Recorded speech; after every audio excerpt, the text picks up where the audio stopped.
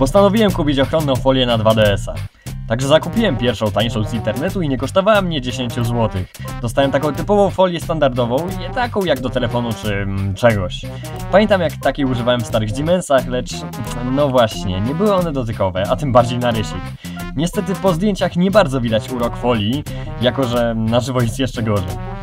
Folie nie pokrywają całkiem ekranów, jednak pokrywają na tyle, żeby je chronić. Podczas gry rysy są niewidoczne, jednak jak już uśpimy konsolę, to zresztą widać. Górny ekran, mimo że nie jest miedziany przez rysik, posiada pojedyncze kreski. Więc jeśli jesteś chory jak ja i drażnią cię niedoskonałości ochronnych folii, kup szkło na ekran. Tu akurat mam do telefonu i w porównaniu do folii, no to dosłownie jak druga szybka. Bez rys, bez niczego. Spójrz na samo pudełko, patrz jakie jest twarde i solidne. Więc podsumowując, szkło dobre, folia e, dla niewymagających.